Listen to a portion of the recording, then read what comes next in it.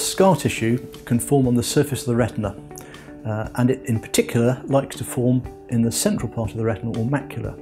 And this results in a gradual blurring of vision and often is accompanied by distortion of vision as the scar tissue contracts and wrinkles the underlying retina.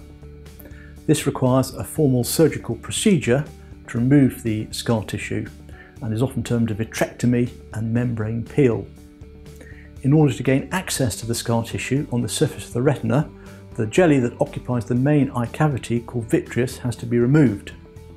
This surgery can be performed either under a general anaesthetic or local anaesthetic and is performed as a day case procedure. It involves making three very small incisions on the sclera or white of the eye through which instruments are placed to perform the surgery. The jelly is first removed and then once the jelly is removed a very fine pair of forceps is introduced into the eye cavity to pick the edge of the scar tissue and peel it off the surface of the retina. Sometimes the scar tissue can come away very freely in one sheet, occasionally it can be stuck to the underlying retina and come away in a piecemeal fashion.